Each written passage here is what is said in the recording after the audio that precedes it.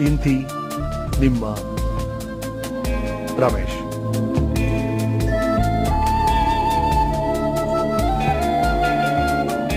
ಗುರುವಿನ ವಾರವಾದ ಈ ಶನಿವಾರ ಮುಂದುವರಿತಾ ಇದೆ. The great teacher doctor Gururaj Kharjagi ಅವರು ನಮ್ಮ ಜೊತೆ ಇದ್ದಾರೆ. ಅವ್ರನ್ನ ಮಾತಾಡ್ತಾರೆ ಒಳ್ಳೆ ಗುರುವಿನ ಲಕ್ಷಣಗಳೇನು sir? What do expect from teacher ಅತ್ಯಂತ ಒಳ್ಳೆ ಗುರು ಆಗ್ಬೇಕಾದ್ರೆ ಆತ ತನ್ನನ್ನ ಮೂರು ಪ್ರಶ್ನೆಗಳನ್ನು ಕೇಳ್ಕೋಬೇಕು. ಮೊದಲು ನಿಮ್ಮ ವಿಷಯದ ಬಗ್ಗೆ ಪ್ರೀತಿ ಇದೆಯಾ? ಯಾವ ವಿಷಯ ಬಗ್ಗೆ ಪಾಠ ಮಾಡ್ತೀರಿ? ಅದ್ರ ಬಗ್ಗೆ ನಿಜವಾಗೂ ಪ್ರೀತಿ ಇದೆಯಾ? ಬರೀ ತುಟಿ ಮಾತಿಗೋಸ್ಕರ ಕೆಲಸ ಸಿಕ್ತು, ಸಂಬಳ ಸಿಕ್ತು ಅಂತ ವಿಷಯ ಪ್ರೀತಿ ಮಾಡೋದಲ್ಲ. ಕೆಲಸ ಇಲ್ಲದೆ ಹೋದ್ರೂ ಕೂಡ ವಿಷಯ ಪ್ರೀತಿ ಮಾಡ್ತಿದ್ದ ಅನ್ನೋದೊಂದು ನಿನ್ನ ವೃತ್ತಿ ಬಗ್ಗೆ ಅಭಿಮಾನ ಇದ್ರೆ ನೀವು ಒಳ್ಳೆ ಮೇಷ್ಟ್ರಾಗ್ತೀರಿ. ಮೂರನೇದು ಬಹಳ ಮುಖ್ಯವಾದಂಥ ಪ್ರಶ್ನೆ ಅಂದರೆ, ನನ್ನ ವಿದ್ಯಾರ್ಥಿಗಳನ್ನ ನನ್ನ ಮಕ್ಕಳಷ್ಟಾದರೂ ಪ್ರೀತಿ ಮಾಡ್ತೇನೆ ನಾನು ಅಂತ. ಮಕ್ಕಳಷ್ಟಾದರೂ? ಹಾಂ ಮಕ್ಕಳಿಗಿಂತ ಹೆಚ್ಚು ಪ್ರೀತಿ ಮಾಡಬೇಕು ಅಂತ ಇರಬೇಕಾದ್ರೆ ಯಾವ ಮೇಷ್ಟ್ರು ತನ್ನ ಮಕ್ಕಳನ್ನ ಅನನ್ಯವಾಗಿ ಪ್ರೀತಿ ಮಾಡ್ತಾನೋ ಅವನು ಅತ್ಯಂತ ಸಮರ್ಥ ಶಿಕ್ಷಕ ಆಗ್ತಾನೆ. ಸರಿ ಮಕ್ಕಳಷ್ಟು ಪ್ರೀತಿಸೋರು ಆ ಥರ ಎಕ್ಸಾಂಪಲ್ಸ್ ನೀವು ನೋಡಿದ್ರಾ ನಿಮ್ಮ ಲೈಫಲ್ಲಿ ನಾನು ನೋಡಿದ್ದೀನಿ. ನನ್ನ ತಂದೆ ಸರ್ಕಾರಿ ನೌಕರದಾರು. ಬಹಳ ಪ್ರಾಮಾಣಿಕ ನೌಕರದಾರ ಆದ್ರಿಂದ ಮೇಲೆ ಮೇಲೆ ಟ್ರಾನ್ಸ್ಫರ್ ಆಗೋದು. ಸರಿ. ಬೆಳಿಗ್ಗೆ ನಮ್ಮ ತಂದೆ ಎದ್ದು ಹಿಂದಿನ ದಿವಸದ ಪೇಪರ್ ಎಲ್ಲ ಓದ್ತಾ ಇದ್ರು. ಊರಲ್ಲಿ ಹಿಂದೆ ಹೊರಗೆ ಪೇಪರ್ ಓದಿ ಅರೆ ರಿಸಲ್ಟ್ ಬಂದ್ಬಿಟ್ಟಿದೆ ಎಸ್ ಎಸ್ ಎಲ್ ಸಿ. ಇವ್ ನಂಬರ್ ಏನು? ಪೇಪರ್ ನೋಡಿದ್ಲು. ಆಕೆ ಖಾತ್ರಿ ಇತ್ತು. ತಮ್ಮನಿಗೆ ರ್ಯಾಂಕ್ ಬರುತ್ತೆ ಅಂತ. ನೋಡಿದ್ಲು ಹತ್ತು ರ್ಯಾಂಕು ಇಲ್ಲ. ಅಯ್ಯೋ ಪಾಪಿ ರ್ಯಾಂಕ್ ತಪ್ಸ್ಕೊಂಡ ಇವನು. ಫಸ್ಟ್ ಕ್ಲಾಸ್ ಬಂದಿರ್ತಾನೆ ಅಂತ ಅಲ್ಲಿ ನೋಡಿದ್ಲು ಅಲ್ಲೂ ಇಲ್ಲ. ಅಯ್ಯೋ ಫಸ್ಟ್ ಕ್ಲಾಸ್ ಇಲ್ಲ ರ್ಯಾಂಕು ಇಲ್ಲ. ಸೆಕೆಂಡ್ ಕ್ಲಾಸ್ ನೋಡಿದ್ರು ಅಲ್ಲೂ ಇಲ್ಲ. ಪಾಸ್ ಆದ್ರೆ ಸಾಕಪ್ಪ ಇವನು ಅಂತ ನೋಡಿದ್ರು ಪಾಸು ಆಗಿಲ್ಲ. ಎಸ್ ಎಲ್ ಸಿ ಫೇಲ್ ನಾನು. ಓ, ಅಂತ ಅಕ್ಕ ಮಾಡೋಕೆ ಶುರು ಮಾಡಿದ್ರು. ಅಪ್ಪನಿಗೆ ಕೋಪ. ಒಂದು ಅರ್ಧ ತಾಸು ನನ್ನ ತಂದೆ ನೆನಪಾಯ್ತು, ನಾನು ಒಬ್ಬನೇ ಮಗ ಅಂತ. ಆಮೇಲೆ ಬೈಬಾರ್ದು ಅಂತ ತೀರ್ಮಾನ ಮಾಡಿಕೊಂಡ್ರು. ಆಗಿನ ಕಾಲದಲ್ಲಿ ನಮಗೆ ಸಹಾಯ ಮಾಡ್ಬೋದಾದವರು ಹೆಡ್ ಮಾಸ್ಟರ್ ಮಾತ್ರ. ಫೋನ್ ಮಾಡಿ ಮಾಡಿ ನೋಡಿದ್ರು ಫೋನ್ ಹತ್ತಲಿಲ್ಲ. ತಂದೆ ನಾನು ಧಾರವಾಡಕ್ಕೆ ಬಂದ್ವಿ. ಸ್ಟಾಫ್ ರೂಮಲ್ಲಿ ನಮ್ಮ ಹೆಡ್ ಮಾಸ್ಟರ್ ಕೂತಿದ್ರು. ಗಣಿತ ಟೀಚರ್ ಕೂತಿದ್ರು. ಒಳಗೆ ಹೋಗಿ ನಿಂತ್ಕೊಂಡೆ. ಬೈದರು ಬೈದರು ಬೈದರು. ನಾಚಿಕೆ ಬರಲ್ಲ ನಿನಗೆ? ಇಡೀ ವರ್ಷ ಕಲಿಸಿದ್ದೀನಿ ಗಣಿತ ನಿನಗೆ. ಮೂವತ್ತು ಮಾರ್ಕ್ಸ್ ಯೋಗ್ಯತೆ ಇಲ್ಲ? ಹದಿಮೂರು ಬಂದಿದೆ, ಹದಿಮೂರು. ಅಂತ ಬೈದ್ರು. ಆಗ ಗೊತ್ತಾಯ್ತು ಯಾವ ವಿಷಯ ಫೇಲ್ ಆಗಿದ್ದೀನಿ ನಾನು ಅಂತ. ಬೈದು ಹೊರಗೆ ಕಳಿಸಿದ್ರು. ನಮ್ಮ ತಂದೆ ಕರೆದು ಅವ್ರಿಗೂ ಬೈದರು. ಜವಾಬ್ದಾರಿ ಬೇಡ ಸ್ವಾಮಿ ನನಗೆ ಆ ಹುಡುಗ ಫೇಲ್ ಆಗಿದ್ದಾನೆ, ಮನೆ ಕೀಲಿ ಹಾಕೊಂಡು ಹೋಗಿದ್ದೀರಿ. ನಿಮ್ಮ ಮನೆಗೆ ನಾನು ಮೂರು ದಿವಸ ಹೋಗಿದ್ದೀನಿ. ದಯವಿಟ್ಟು ಗಮನಿಸಿ ನನ್ನ ಮೇಷ್ಟು ನನ್ನ ಮನೆಗೆ ಹೋಗಿದ್ದೆ ಮೂರು ದಿವಸ ನಿಮ್ಮ ಮನೆಗೆ ಹೋಗಿದ್ದೀನಿ, ಕೀಲಿ ಹಾಕೊಂಡು ಹೋಗಿದ್ದು ಹುಡುಗನ ಗತಿ ಏನಾಗುತ್ತೆ? ನೋಡಿ ಫೇಲ್ ಆಗೋನಲ್ಲ ರ್ಯಾಂಕ್ ಬರಬೇಕು ಅವನಿಗೆ. ಕಮ್ಮಿ ಬಂದಿದೆ. ರೀ ಟೋಟ್ಲಿಂಗ್ ಅಪ್ಲೈ ಮಾಡೋದಕ್ಕೆ ಐದೇ ದಿವಸ ಕೊಟ್ಟಿರೋದು. ಚಿಂತೆ ಮಾಡಬೇಡಿ. ನಾನೇ ಶಾಲೆಗೆ ಬಂದು ಪಾಲಕ ಅಂತ ಅಪ್ಲಿಕೇಶನ್ ತುಂಬಿ ಐದು ರೂಪಾಯಿ ಕಳಿಸ್ಬಿಟ್ಟಿದ್ದೀನಿ ಎಸ್ ಎಲ್ ಸಿ ಬೋರ್ಡಿಗೆ. ನನಗೆ ಆ ದಿವಸ ನೆನಪಿದೆ ಸರ್. ಇಪ್ಪತ್ತೊಂದನೇ ಮೇ. ಕುದೀತಿದೆ ಬಿಸಿಲು. ಮನೇಲಿ ಕೂತು ರಸ್ತೆ ಕಾಣಿಸ್ತಿತ್ತು. ಡಾಂಬರ್ ಕರಿಗೆ ಮೃಗಜಲ ಹಾಯ್ತಾ ಇದೆ ರಸ್ತೆ ಮೇಲೆ. ಕಾದ್ ಹಂಚಾದಂಗಾಗಿದೆ ರಸ್ತೆ. ನನ್ನ ಮೇಷ್ಟ್ರು ಬರೋದು ಕಾಣಿಸ್ತು. ಕಚ್ಚೆ ಧೋತ್ರ ಬಿಳಿ ಶರ್ಟು ಕರಿ ಕೋಟು ಕರಿ ಟೊಪ್ಪಿಗೆ ದಪ್ಪ ಕನ್ನಡಕ. ಎಡಗೈಯಲ್ಲಿ ಧೋತ್ರ ಚುಂಗ್ ಇಟ್ಕೊಂಡಿದ್ದಾರೆ. ಬಲಗೈಯಲ್ಲಿ ಚಪ್ಪಲಿ ಇಟ್ಕೊಂಡಿದ್ದಾರೆ. ಕುಣ್ಕೊಂಡು ಕುಣ್ಕೊಂಡು ಬೆವರು ಸುಸ್ಕೊಂಡು ಬರ್ತಾ ಇದ್ದಾರೆ. ನನ್ನ ಪ್ರೀತಿ ಮೇಷ್ಟ್ರಿಗೆ ಡಯಾಬಿಟಿಸ್ ಹೆಬ್ಬಟ್ಟಿ ಗಾಯ ಮಾಡ್ಕೊಂಡು ಇಷ್ಟು ದಪ್ಪ ಆಗಿದೆ ಬೇಗ ಬೇಗ ನಡೆಯೋಕೆ ಆಗ್ತಾ ಇಲ್ಲ ಚಪ್ಪಲಿ ಹಾಕೊಂಡು ಬೇಡ ಅಂತ ಚಪ್ಪಲಿ ಉಸಾಬ್ರಿ ಬೇಡ ಅಂತ ಕೈಲಿ ಹಿಡ್ಕೊಂಡ್ ಬಂದಿದ್ದಾರೆ. ಪಾಪ ಕಾಲಿಗೆಲ್ಲ ಗುಳ್ಳೆ ಆಗಿರ್ಬೇಕು ಅವ್ರಿಗೆ. ಎಲ್ಲಿ ಹೋಗ್ತಿದ್ದಾರೆ ಮೇಷ್ಟ್ರು ಅನ್ಕೊಂಡೆ ನನ್ನ ಮನೆ ಕಡೆ ತಿರ್ಕೊಂಡ್ರು. ಹೊಸ್ತರ ಆಚೆಗೆ ಚಪ್ಪಲಿ ಎಸೆದು ಒಳಗೆ ಬಂದ್ಬಿಟ್ರು. ನಿಮ್ಮ ಅತ್ಯಂತ ಪ್ರೀತಿ ಪಾತ್ರರಾದಂಥ ಮೇಷ್ಟ್ರು ಹೀಗೆ ಮನೆಗೆ ಬಂದ್ರೆ ಏನು ಮಾಡಬೇಕು ಅಂತ ತೋಚಲಿಲ್ಲ, ಎದ್ದು ನಿಂತ್ಕೊಂಡ್ಬಿಟ್ಟೆ. ಮುಂದೆ ಐದು ನಿಮಿಷ ಆದದ್ದನ್ನು ನನ್ನ ಜೀವನದ ಕೊನೆ ಕ್ಷಣದವರೆಗೂ ಮರೆಯೋಕೆ ಸಾಧ್ಯ ಇಲ್ಲ ನಾನು. ಒಂದು ಮಾತು ಆಡಲಿಲ್ಲ ಮೇಷ್ಟ್ರು. ಸೀದಾ ನನ್ನ ಕಡೆ ಬಂದ್ರು, ಗಟ್ಟಿಯಾಗಿ ಅಪ್ಕೊಂಡ್ಬಿಟ್ಟು ಮಗು ಥರ ಬಿಕ್ಕಿ ಬಿಕ್ಕಿ ಅಳೋಕೆ ಶುರು ಮಾಡಿದ್ರು. ಯಾಕೆ ಅಳ್ತಾರೆ ಮೇಷ್ಟ್ರು ಅಂತ ಗೊತ್ತಿಲ್ಲ. ಪಾಪ ಏನೋ ತೊಂದರೆ ಆಗಿರಬೇಕು ಅಂತ ನನಗೊಳಗೆ ಬಂದ್ಬಿಡ್ತು. ಒಂದು ಎರಡು ಮೂರು ನಿಮಿಷ ಆದ್ಮೇಲೆ ನಾನು ಹಿಂಗೆ ಹೊರಗೆ ತಳ್ಳಿ ಜೇಬಲ್ಲಿ ಕೈ ಹಾಕಿ ಒಂದು ಪೇಪರ್ ತೆಗೆದ್ರು. ನೋಡು, ಚಂಡಾಲ್ರು ರೇನ್ ಮಾಡಿದ್ರೆ ನಿನ್ನ ಜೀವನಕ್ಕೆ ಅಂತ ಕೊಟ್ಟರು ಅದು ಬೋರ್ಡಿಂದ ಬಂದಂತ ಟೆಲಿಗ್ರಾಮ್ ನಿನ್ನ ರಿಸಲ್ಟು ಫೇಲ್ ಇಂದ ಏಡ್ತ್ ರ್ಯಾಂಕ್ ಆಗಿದೆ, ನಿನ್ ಕ್ಯುಮುಲೇಟಿವ್ ಕಾರ್ಡ್ ಕರೆಕ್ಷನ್ ಕೊಡು ಅಂತ ಬರೆದಿದ್ರು. ನನಗೆ ಏಟ್ ರ್ಯಾಂಕ್ ಬಂದಿದ್ದೆ ಸ್ಟೇಟಿಗೆ ಆದ್ರೆ ಆನೆಸ್ಟ್ ಆಗಿ, ಪ್ರಾಮಾಣಿಕವಾಗಿ ಹೇಳೋದಾದ್ರೆ, ಆ ಕ್ಷಣಕ್ಕೆ ನನಗೆ ರ್ಯಾಂಕ್ ಬಂತು ಅಂತ ಸಮಾಧಾನ ಆಗಿರಲಿಲ್ಲ. ನನ್ನ ಮೇಷ್ಟ್ರು ಮನೆಗೆ ಬಂದು ಅಪ್ಕೊಂಡು ಹತ್ರಲ್ಲ ಅದು ಬಹಳ ದೊಡ್ಡದು ಅನ್ಸ್ಬಿಡುತ್ತೆ ನನಗೆ. ತನ್ನ ಮಕ್ಕಳಿಗಿಂತ ಹೆಚ್ಚಿಗೆ ಪ್ರೀತಿ ಮಾಡಿದಂಥ ಮೇಷ್ಟ್ರು. ಇವತ್ತು ನಾನು ಪ್ರತಿಯೊಂದು ಕ್ಷಣ ನೆನೆಸ್ತೇನೆ. ನಾನು ಮೇಷ್ಟ್ರ ಆಗಬೇಕು ಅಂತ ತೀರ್ಮಾನ ಮಾಡದ್ದು ಅವತ್ತು. ನನ್ನ ಜೀವನದಲ್ಲಿ ಬೇಕಾದಷ್ಟು ಅವಕಾಶ ಇತ್ತು. ಆದರೆ ನಾನು ಪ್ರತಿಜ್ಞೆ ಮಾಡಿದ್ದು ನಾನು ಬದುಕಿದ್ರೆ ನನ್ನ ಮೇಷ್ಟ್ರಾಗಿ ಆಗಬೇಕು ಅಂತ. ಒಂದೇ ಪ್ರಾರ್ಥನೆ ಭಗವಂತನಲ್ಲಿ ಅಂದ್ರೆ ನನ್ನ ಮೇಷ್ಟ್ರು ನನಗೆ ಏನು ಪ್ರೀತಿ ತೋರಿಸಿದ್ರು ಅದರ ನೂರನೇ ಒಂದು ಭಾಗ ನನ್ನ ವಿದ್ಯಾರ್ಥಿಗಳಿಗೆ ನಾನು ತೋರಿಸಿದ್ರೆ ನನ್ನ ಜೀವನ ಸಾರ್ಥಕ ಅನಿಸ್ಬಿಡ್ತು. ಸರ್ ನಾನು ಎಷ್ಟೊಂದು ಶಿಕ್ಷಕರನ್ನ ಭೇಟಿ ಮಾಡಿದೆ. ಕೆಲವರ ಅಭಿಪ್ರಾಯ ಏನಿದೆ ಅಂದರೆ ಇದು ಥ್ಯಾಂಕ್ಲೆಸ್ ಜಾಬ್ ಕೊನೆಗೆ ಅಂತ ಹೇಳ್ತಿದ್ದಾರೆ. ನಿಮ್ಗೇನು ಅನ್ಸುತ್ತೆ? ಥ್ಯಾಂಕ್ಲೆಸ್ ಜಾಬ್ ಅಲ್ಲ sir. Is the most wonderful job that God has given us. ಅದಕ್ಕೊಂದು ಉದಾಹರಣೆ ಹೇಳಿದ್ರೆ ಬಹುಶಃ ಅದು ಸ್ಪಷ್ಟ ಆದಿತ್ತು ಏನು?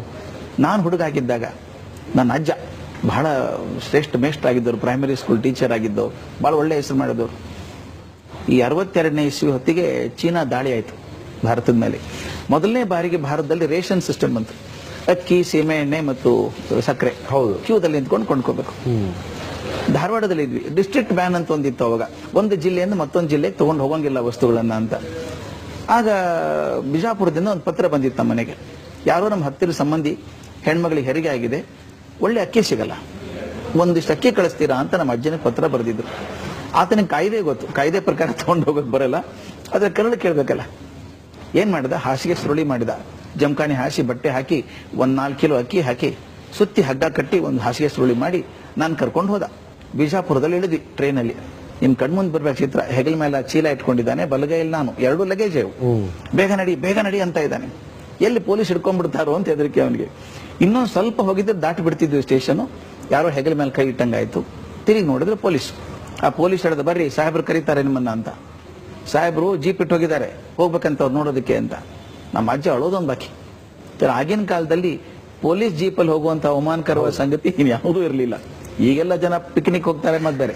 ಆಮೇಲೆ ಆ ಜೀಪಲ್ಲಿ ಕೂತ್ ಹೋದ್ವಿ. ದೊಡ್ಡ ಮನೆ ಎಸ್ ಪಿ ಮನೆ. ಆಗಿನ ಕಾಲ ಈಗ ಎಸ್ ಪಿ ಅಂದ್ರೆ ದೊಡ್ಡ ಪೋಸ್ಟು ಆ ಗವರ್ನರ್ ಇದ್ದ ಹಾಗೆ. ಅದೊಂದು ಬೆಂಬಿಡದ ಭೂತ ಇತ್ತಲ್ಲ ಚೀಲ. ಅದು ಇಟ್ಕೊಂಡು ಅಲ್ಲಿ ಕೂತ್ಕೊಂಡ್ವಿ. ನಮ್ಮ ಅಜ್ಜ ಒಂದು ಕ್ಷಣ ಕ್ಷಣ ಮುಖ ಒರೆಸ್ಕೋತಾ ಇದ್ದ. ಒಳಗಿಂದ ಒಬ್ರು ಕಾನ್ಸ್ಟೇಬಲ್ ಬಂದ್ರು. ಬರ್ರಿ ಒಳಗೆ ಸಾಹೇಬರು ಕರೀತಾರೆ ಅಂತ. ಅಪರಾಧಿ ತಾನೇ ನನ್ನ ಅಜ್ಜ. ಕೈ ಮುಕ್ಕೊಂಡೆ ಒಳಗೆ ಹೋದ. ದೊಡ್ಡ ಹಾಲು.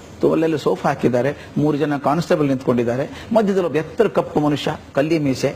ಅವನ ಪಕ್ಕದಲ್ಲಿ ಸುಂದರವಾದ ಹೆಣ್ಮಗಳೊಬ್ಳು. ಆತನೇ ಇರಬೇಕು ಎಸ್ ಪಿ ಅಂತ ಅನಿಸ್ತಾ ಅಜ್ಜನಿಗೆ. ಒಳಗೆ ಹೋದವನೇ ಕೈ ಮುಗಿದು ತಪ್ಪಾತ್ರಿ ಸಾಹೇಬ್ರೆ ತಪ್ಪಾತ್ರಿ ಸಾಹೇಬ್ರೆ ಅಂದ. ಆ ಆಫೀಸರ್ ನಿಂತ್ಕೊಂಡವರು ಒಂದು ಮಾತು ಆಡ್ಲಿಲ್ಲ. ಒಂದು ಹೆಜ್ಜೆ ಮುಂದೆ ಬಂದವರು ದೀರ್ಘದಂಡ ನೆಲದ ಮ್ಯಾನ್ ಮಲ್ಕೊಂಡು ಕಾಲು ಹಿಡ್ಕೊಂಡ್ಬಿಟ್ರು ಅಜ್ಜನ್. ನಮ್ಮ ಅಜ್ಜನ ಗಾಬರಿ ಯಾರು ಇವರು ಯಾರು ಇವರು ಅಂತಾನೆ. ಆ ಪೊಲೀಸ್ ಎಲ್ಲ ಸಾಹೇಬರು ಸಾಹೇಬರು ಅಂತಾರೆ.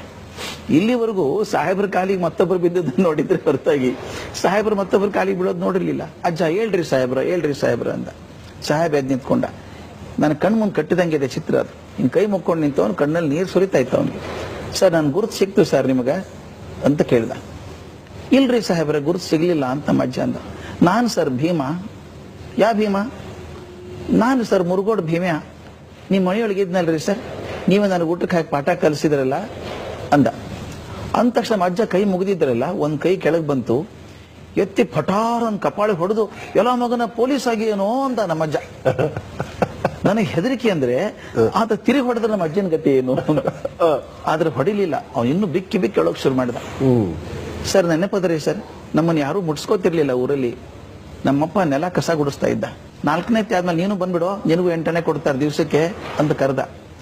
ನೀವು ಮನೆಗೆ ಬಂದು ನಮ್ಮ ತಂದೆ ಹತ್ರ ಜಗಳಾಡಿ, ಹುಡುಗ ಬುದ್ಧವಂತಿದ್ದಾನೆ, ಬಿಡಿಸ್ಬೇಡ ಅಂತ ಹೇಳಿ ಮನೇಲಿ ಇಟ್ಕೊಂಡು ಊಟಕ್ಕೆ ಹಾಕಿ ಕಲಿಸಿ ನೆನಪದ ಸರ್, ಏಳನೇ ಕ್ಲಾಸ್ ವರೆಗೂ ಏಳನೇ ಕ್ಲಾಸ್ ನಮ್ಮ ಶಾಲೆ ಇರಲಿಲ್ಲ ಊರಲ್ಲಿ. ಬಿಜಾಪುರ ಕರ್ಕೊಂಡೋಗಿ ಹಾಸ್ಟೆಲ್ ಫೀಸ್ ಕಟ್ಟಿ ಬಂದದ್ದು ನೆನಪದ ಸರ್. ನೀವು ಹಾಗೆ ಮಾಡದೇ ಇದ್ದಿದ್ರೆ ಇವತ್ತಿಗೆ ಇನ್ನೂ ನಾನು ಕಸ ಗುಡಿಸ್ಕೊಂಡೇ ಇರ್ತಿದ್ದೆ ಸರ್. ಅಂದ್ಬಿಟ್ಟು ತನ್ನ ಹೆಂಡತಿಗೆ ಹೇಳ್ದ, ದಿನ ದೇವ್ರ ಪೂಜಾ, ದೇವ್ರ ಪೂಜೆ ಹೇಳ ಬಿಡು, ಇವರೇ ನನ್ನ ದೇವರು, ಕಾಲು ಹಿಡ್ಕೊ ಅಂದ ಹಿಡ್ಕೊಂಡು ನಮ್ಮ ಅಪ್ಪ, ಅಜ್ಜ ಅವನ ಅಪ್ಕೊಂಡ್ರು ಇಬ್ರು ಅಳ್ತಾ ಇದ್ರು. ನನ್ನ ಕಣ್ಮುಂದ್ ಕಟ್ಟಿದಂಗಿದೆ ಸರ್ ಅದು. ಒಂದು ಕಡೆಗೆ ಧನ್ಯತೆಯಿಂದ ಬೀಗಿದಂತಹ ಗುರು ಒಂದ್ ಕಡೆ ಆದ್ರೆ ಕೃತಜ್ಞತೆಯಿಂದ ಬಾಗಿದಂತ ಶಿಷ್ಯ ಇನ್ನೊಂದ್ ಕಡೆಗೆ. ನನಗೆ ಆಗಲೇ ಕೇಳಿದ್ರಲ್ಲ ಥ್ಯಾಂಕ್ಲೆಸ್ ಜಾಬ್ ಅಂತ. ಅಲ್ಲ ಅಂತ ಅನ್ಸುತ್ತೆ ನನಗೆ. ಯಾಕಂದ್ರೆ ನನ್ನ ಅಜ್ಜ ಆ ಭೀಮನ್ ಭೇಟಿ ಆದದ್ದು ಮೂವತ್ತು ವರ್ಷಗಳ ನಂತರ ಇರಬೇಕು. ಮೂವತ್ತು ವರ್ಷ ಹಿಂದೆ ಹಾಕಿದಂತಹ ಪ್ರೀತಿಯ ಬೀಜ ಇದು ಬೆಳೆದು ಹೆಮ್ಮರಾಗಿ ನಿಂತ್ಕೊಂಡಿದೆಯಲ್ಲ? ಅದರಿಂದ ನಾವು ಬೀಜ ಹಾಕುವಾಗ ಮನಸ್ಸಲ್ಲಿ ಕಸಿವಿಸಿ ಬೇಡ ಕಿರಿಕಿರಿ ಬೇಡ. ಪ್ರೀತಿ. ಹಾಗೆ ಖಂಡಿತ ಆಗುತ್ತೆ. ಒಳ್ಳೆ ಬೀಜ ಒಳ್ಳೆ ಹಣ್ಣೆ ಕೊಡ್ತದೆ. ಸೋ ನೈಸ್ ಸೊ ಇನ್ನೊಂದು ಪೇರೆಂಟ್ಸ್ ಏನು ನಿರೀಕ್ಷೆ ಮಾಡ್ತೀರಾ ನೀವು ಆಸ್ ಅ ಟೀಚರ್ ನಾನು ಒಂದೇ ಕೈ ಮುಗಿದು ಬೇಡ್ಕೊಳ್ಳೋದು. ದಯವಿಟ್ಟು ನಿಮ್ಮ ಮಕ್ಕಳ ಕಣ್ಣಲ್ಲಿ ಶಿಕ್ಷಕರನ್ನ ಸಣ್ಣವರನ್ನಾಗಿ ಮಾಡಬೇಡಿ. ಅಂದ್ರೆ ಸರ್ ಈಗ ತಂದೆ ಯಾವುದೋ ದೊಡ್ಡ ಕಂಪನಿಯಲ್ಲಿ ಮ್ಯಾನೇಜರ್ ಆಗಿದ್ದಾರೆ ಜನರಲ್ ಮ್ಯಾನೇಜರ್ ಮ್ಯಾನೇಜಿಂಗ್ ಡೈರೆಕ್ಟರ್ ಆಗಿದ್ದಾರೆ. ಅವನೇನೋ ಟೀಚರು ಎಲ್ಲ ಕೂಡ ಸಾವಿರದ ಇನ್ನೂರು ರೂಪಾಯಿ ಸಂಬಳ ಅವನಿಗೆ. ಅವನೇ ನಾ ಹೇಳ್ತೀನಿ ತಗೋ, ನಮ್ಮ ಮನೆ ಪಕ್ಕದಲ್ಲಿ ನಾನು ಹೇಳ್ತೀನಿ ಅವನು. ಕೆಲವೊಂದ್ಸಲ ಟೀಚರ್ಸ್ ಬಗ್ಗೆ ಹಗುರವಾಗಿ ಮನೆಯಲ್ಲಿ ಮಾತಾಡ್ತೀವಿ ಏಕವಚನದಲ್ಲಿ ಮಾತಾಡ್ತೀವಿ. ಮಾತಾಡೋದ್ರಿಂದ ಏನಾಗುತ್ತೆ ಅಂದ್ರೆ ಮಗುಗೆ ಶಿಕ್ಷಕರ ಬಗ್ಗೆ ಅಭಿಪ್ರಾಯ ಕಮ್ಮಿ ಆಗ್ತದೆ. ಒಂದು ಸಲ ಮಗುಗೆ ಶಿಕ್ಷಕರಲ್ಲಿ ನಂಬಿಕೆ ಹೋಗ್ಬಿಟ್ರೆ ಶಿಕ್ಷಕ ಕಲಿಸಿದ್ ಯಾವುದು ಮಕ್ಕಳಿಗೆ ಮುಟ್ಟಲ್ಲ. ಅದು ಬೇಕಿಲ್ಲ. ಅದರಿಂದ ದಯವಿಟ್ಟು ಶಿಕ್ಷಕರ ಬಗ್ಗೆ ನಿಮಗೆ ಏನ್ ತಕರಾರಿದ್ರೆ ಅವ್ರ ಕಡೆನೆ ಹೋಗಿ ಮಾತಾಡಿ. ಮಗು ಮುಂದೆ ಕೆಟ್ಟದಾಗಿ ಮಾತಾಡಬೇಡಿ. ಶಾಲೆ ಯಾವ ವಾತಾವರಣದ ಬಗ್ಗೆನೂ ಮಕ್ಕಳ ಮುಂದೆ ಮಾತಾಡಬೇಡಿ. ಶಾಲೆಗೆ ಅದು ದೇವಸ್ಥಾನ ಇದ್ದಂಗೆ ಮಗು ಮಗುಗೆ ದೇವಸ್ಥಾನ ಶಾಲೆ. ಅದ್ರ ಬಗ್ಗೆ ತಪ್ಪು ಮಾತಾಡೋದು ಬೇಡ. ಇನ್ನೊಂದು ನೀವು ಶಿಕ್ಷಕರನ್ನ ಭೇಟಿ ಆದ್ರೂ ಕೂಡ ನೀವು ಅವ್ರ ಕೃತಜ್ಞತೆಯಿಂದ ಮಾತಾಡಿಸಿ. ನಿಮ್ಮ ಮಗುವನ್ನ ಒಂದು ವ್ಯಕ್ತಿತ್ವವನ್ನಾಗಿ ಮಾಡುವಂತವ್ರು ಅವರು. ಖಂಡಿತ ಖಂಡಿತ ಆದ್ರಿಂದ ಆ ಗೌರವ ಇರಲಿ. ಆತನ ಕಲಿಕೆ ನಿಮ್ಗಿಂತ ಕಮ್ಮಿ ಇರಬಹುದು ಆತನ ಜಗತ್ತಿನ ದೃಷ್ಟಿ ನಿಮ್ಗಿಂತ ಸಣ್ಣದಾಗಿರಬಹುದು ಆದ್ರೆ ಆತ ಒಂದು ದೊಡ್ಡ ಕೆಲಸ ಮಾಡ್ತಿದ್ದಾನೆ. ಒಬ್ಬ ಮಗುನ ಒಬ್ಬ ಸಮರ್ಥ ನಾಯಕನನ್ನಾಗಿ ಮಾಡ್ತಾನೆ. ಫಿಸಿಕ್ಸ್ ಕೆಮಿಸ್ಟ್ರಿ ಹೇಳ್ಕೊಡೋದು ಒಂದ್ ಕಡೆ. ಅಪಾರ್ಟ್ ಫ್ರಮ್ ದಟ್ ಅವರ ಪರ್ಸನಲ್ ಲೈಫಲ್ಲಿ ಅಥವಾ ಅವ್ರ ಬಿಹೇವಿಯರ್ ಅಲ್ಲಿ ಹೇಗಿರಬೇಕು ಅನ್ಸುತ್ತೆ ನಿಮಗೆ ಟೀಚರ್ಸ್ ಒಂದು ಗಮನ ಶಿಕ್ಷಕರು ಇಡಬೇಕಾದದ್ದು ಅಂದ್ರೆ ಪ್ರತಿಯೊಂದು ಮಗು ನಿಮ್ಮನ್ನು ಗಮನಿಸಿ ನೋಡುತ್ತದೆ. ನೀವು ಮೇಷ್ಟ್ರಾದಾಗ ನಿಮ್ ದುರ್ಬೀನ್ ಕೆಳಗೆ ಇರ್ತೀರಿ ಹಾ. ನಿಮ್ಮ ವ್ಯಕ್ತಿ ಜೀವನ ಕೂಡ ಒಂದು ಎಕ್ಸಾಂಪಲ್ ಹೇಳ್ಬಿಡ್ತೀನಿ. ನಾನು ಹಾರ್ವರ್ಡ್ ಸ್ಕೂಲ್ ಆಫ್ ಎಜುಕೇಶನ್ ಹೋದಾಗ ಅಲ್ಲಿ ಡಾಕ್ಟರ್ ಕ್ಯಾಥಲೀನ್ ಅಂತ dean. One of the best university in the world today ಅಲ್ಲಿ ಹೋದಾಗ ನಾನು ಪಾಠ ಮಾಡಿ ಮುಗಿದ್ಮೇಲೆ ಅವ್ರು ಎಷ್ಟು ಚೆನ್ನಾಗಿ ಮಾಡ್ತಾರೆ ಅಂದ್ರೆ ಅವ್ರು ತಮ್ಮ ಯೂನಿವರ್ಸಿಟಿ ಬಗ್ಗೆ ಯಾಕೆ ಹಾರ್ವರ್ಡ್ ರಿಮೇನ್ಸ್ ನಂಬರ್ ಒನ್ ಅಂದ್ರೆ ಒಂದು ಕ್ವಶನ್ ಮಾಡ್ತಾರೆ. ನಮ್ಮ ಶಾಲೆ ಬಗ್ಗೆ ಅಭಿಪ್ರಾಯ ಏನ್ ನಿಮ್ದು ಅಂತ ಎಲ್ಲರನ್ನೂ ಕೇಳ್ತಾರೆ.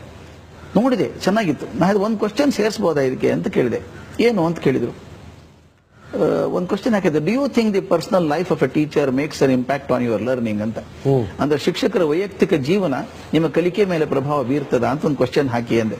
ಯಾಕೆಂದ್ರೆ ಅದೇನಾಗ್ಲಿಕ್ಕಿಲ್ಲ because teacher is a teacher personal life is personal life ಅಂದ್ರು. ಹಾಕಿ ನೋಡಿ ಅಂದೆ. ಹಾಕಿ ನೋಡಿ ಆರು ತಿಂಗಳಲ್ಲಿ ಮೇಲ್ ಕಳಿಸಿದಾರೆ ಅವರು. ಬಹಳ ಒಳ್ಳೆ ಪ್ರಶ್ನೆ ಇದು. ಏಟಿ ನೈನ್ ಪರ್ಸೆಂಟ್ ಎಂಬತ್ತೊಂಬತ್ತು ಜನ ಹುಡುಗರು ಹೇಳಿದಾರಂತೆ personal life of a teacher makes an impact on my learning ನೋಡಿ ಹಿಂದಿನ ದಿವಸ ಮೇಷ್ಟು ಕುಡ್ಕೊಂಡು ಅಡ್ಡಾಡ್ತಾ ಇದ್ದಾರೆ ರಸ್ತೆ ಮೇಲೆ. ಮರುದಿವ್ಸ ಕ್ಲಾಸ್ ಅಲ್ಲಿ ಪಾಠ ಮಾಡಿದಾಗ ಹಿಂದಿನ ದೃಶ್ಯ ಪುನರಾವರ್ತನೆ ಆಗ್ತಾ ಇರುತ್ತೆ ಕ್ಲಾಸ್ ಎಷ್ಟು ಒಳ್ಳೆ ಚೆನ್ನಾಗಿತ್ತು ಫಿಸಿಕ್ಸ್ ಟೀಚ್ ಮಾಡಿದ್ರೆ ಒಬ್ಬ ಶಿಕ್ಷಕ ತನ್ನ ವ್ಯಕ್ತಿಶಃ ಜೀವನವನ್ನು ಎಷ್ಟು ಶುದ್ಧವಾಗಿ ಇಟ್ಕೋತಾನೋ ಅಷ್ಟು ಒಳ್ಳೆ ಮೇಸ್ಟ್ ಆಗ್ತಾನೆ. ಅದಕ್ಕೆ ನಾನು ಹೇಳೋದು before you become a good teacher you should be good human being ಒಳ್ಳೆ ಮನುಷ್ಯನಾಗದೊರ್ತು ಹೊರತು ಒಳ್ಳೆ ಶಿಕ್ಷಕ ಆಗೋಕೆ ಸಾಧ್ಯವೇ ಇಲ್ಲ. ನನ್ನ ಗೆಳೆಯ ಒಬ್ಬ ಬೇರೆ ದೇಶದಿಂದ ಬಂದಿದ್ದ ಅವ್ನು ಭೇಟಿಯಾಗಿ ಹೊರಗೆ ಬಂದಾಗ ಒಂದು ದೊಡ್ಡ ಹಾಲ್ ಒಂದು ದೊಡ್ಡ ಓವಲ್ ಶೇಪ್ ಟೇಬಲ್ ಇದೆ. ಅಲ್ಲಿ ಮಕ್ಕಳು ಪಾರ್ಟಿ ಆಗ್ತಾ ಇತ್ತು. ಅಲ್ಲಿ ಪಾರ್ಟಿ ಮಾಡ್ಬೇಕಾದ್ರೆ ಶ್ರೀಮಂತರೇ ಇರಬೇಕು. ಎಲ್ಲ ಹನ್ನೆರಡರಿಂದ ಹದಿನಾಲ್ಕು ವರ್ಷ ಹುಡುಗರು ಟೇಬಲ್ ತುದಿಗೆ ಒಬ್ಬ ಸುಂದರ ಹುಡುಗಿ ಕೂತಿಲ್ಲ ಹದಿಮೂರು ಹದಿನಾಲ್ಕು ವರ್ಷ. ಆಕೆ ಮುಂದೆ ಕೇಕು ಕ್ಯಾಂಡಲ್ ಎಲ್ಲ ಇತ್ತು. ಗೊತ್ತಾಯ್ತು ಬರ್ತ್ಡೇ ಇರಬೇಕು ಅಂತ.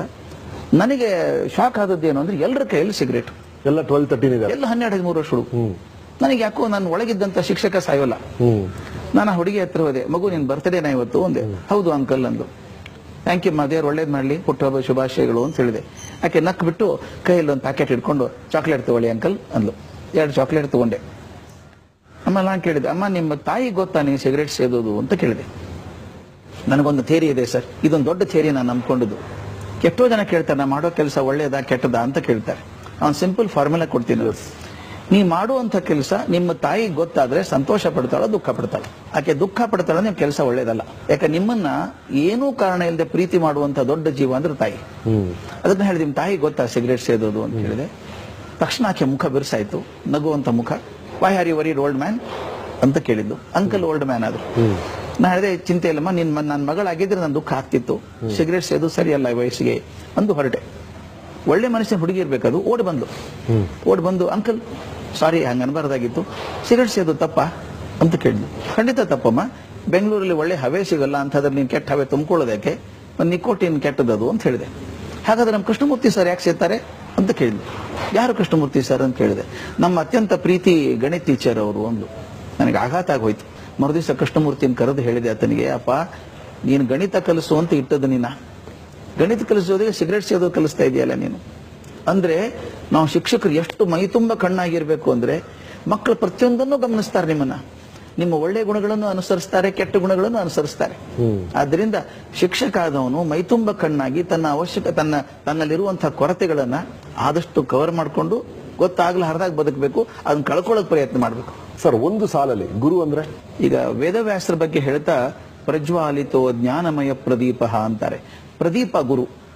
ಪ್ರದೀಪ ಅಂದ್ರೆ ದೀಪ ಅಲ್ಲ. ಯಾವುದು ತನ್ನ ಸ್ವಂತ ಶಕ್ತಿಯಿಂದ ಸದಾಕಾಲ ಉರಿತದೋ ಅದು ಪ್ರದೀಪ. ಅದರಿಂದ ಬೇರೆ ದೀಪಗಳು ಹಚ್ಕೊಳ್ಳುವಂತಹದ್ದು ಒಬ್ಬ ಶಿಕ್ಷಕ ಪ್ರದೀಪ ಆದ್ರೆ ದೀಪಗಳು ಶಿಷ್ಯರು.